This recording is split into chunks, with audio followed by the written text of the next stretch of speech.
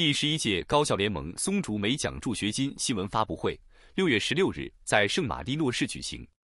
本届奖助学金由南加州中华高校校友会联盟、高校联盟教育基金会共同主办，交通大学南加州校友会、西安电子科技大学美国校友会、山东大学南加州校友会与中山大学南加州校友会承办。十一家校友会协办和十一家校友会支持，共有二十六家校友会赞助，并由灿国基金冠名赞助。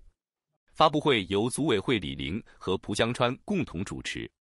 发布会上，主办方和承办方介绍，本届奖助学金申请已于五月八日开通，并公告发布。奖助学金申请截止为七月六日，七月二十一日公布获奖者名单，七月二十七日举行颁奖典礼。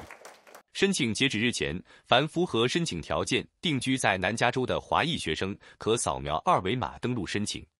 同时，组委会还呼吁企业、团体和爱心人士继续捐助和支持本届慈善公益活动，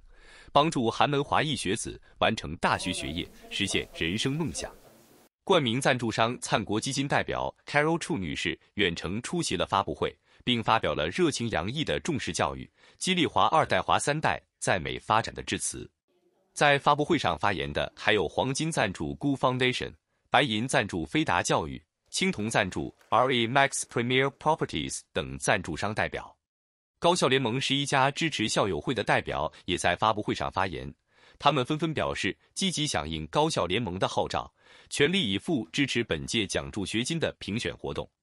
主办方表示。高校联盟松竹梅奖助学金是提供南加唯一的全方位的慈善教育类奖助学金。本届奖助学金的最大革新亮点是，统一项目名称为高校联盟松竹梅奖助学金，同时新设基金会评审委员会，聘请教育领域资深专家长期担任评委，实施奖助学金评审专家化，提高评审权威性。全美电视台记者圣马力诺市采访报道。